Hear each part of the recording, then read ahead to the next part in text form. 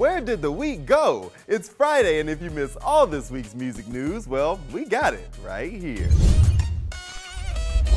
Kanye West is in the news again. Here we go. Kanye West appeared on Alo Mind podcast and admitted this. Also, when you said I hadn't read this book, I actually haven't read any book. Reading is like eating Brussels sprouts for me. Which is good to know considering he started his own school. We're on our third year, but we're leaning into people in industry, schools or systems, politics, uh, cities or systems. The Christian Prep School asks parents of children attending Ye School to sign an NDA, or as they call it, an informal agreement. The school is not yet accredited, but they have reportedly applied for accreditation through the Western Association of Schools and Colleges. What could go wrong? It's the song that's sweeping the nation. Period ah, period uh, period ah, period uh. And everyone in the music biz is hopping on the remix. TikToker Brit Barbie posted a video of her singing, rapping, saying, period I, period uh, and it's subjectively terrible. Brit Barbie. But some really talented artists have duetted it. Chloe. Bebe Rexha. Baby Tate. And we gotta say, it's pretty good. Got my name up in your mouth, you don't know no better. Don't forget I'm from the south, yeah, I got them headers. If you need it quick, Amazon Prime it. So pretty, think Versace designed it. She Brit Barbie, I'm a breast doll. I think big bitch, not small. Bad bitches to the front, please. Ugly hoes to the back wall. That's period. Ah, period uh, period ah, period uh. I think the lesson here is to leave it to the professionals. I know that I have a habit of dropping cryptic clues and Easter eggs when giving you information about new music, and I am not here to deny that, but I am here to defy that.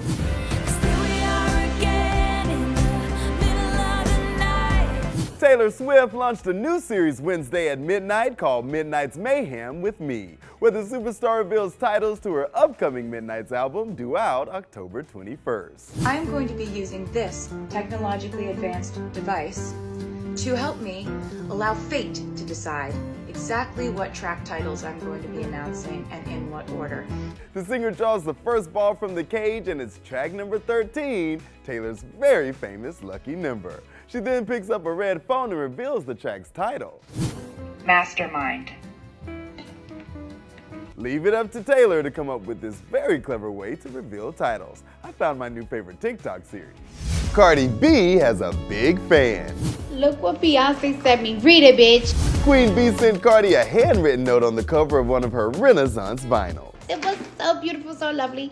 I'm gonna put it in a glass frame with laser beams on it. Anybody that get next to it is gonna get electrocuted on my site. B wrote to Cardi B, hardworking, beautiful, and talented queen.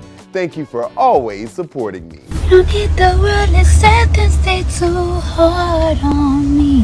They too hard on you. Cardi's been singing Beyonce all over her socials, and I guess Beyonce took notice. And I just want to say thank you so much. I feel so special. He's so hot. He's perfect. The Weeknd is dead. Well, at least at Universal Studios Hollywood.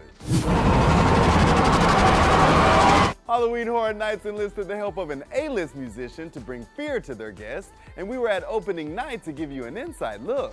If you needed liquid courage for the scary activity, you could head to the After Hours Nightmare Bar, where there were Weeknd-themed cocktails and snacks, including this concoction that I grabbed that literally had a syringe of blood? I won't ask. And then it was time to enter the Weeknd's haunted maze, surrounded by Abel's likeness with his music blasting everywhere. And killers were on the loose.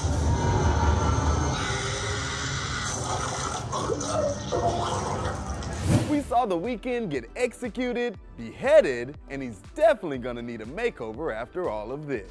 You can check out the Weeknd After Hours Maze at Halloween Horror Nights at Universal Studios Hollywood, September 8th through October 31st. I'm exhausted, but informed. Now make sure you come back next week where we'll keep giving you all your music news. See you Monday. Before we go, Hurricane Fiona has devastated Puerto Rico. If you would like to help the people of Puerto Rico, Billboard suggests making a donation to www.redcross.org/donate.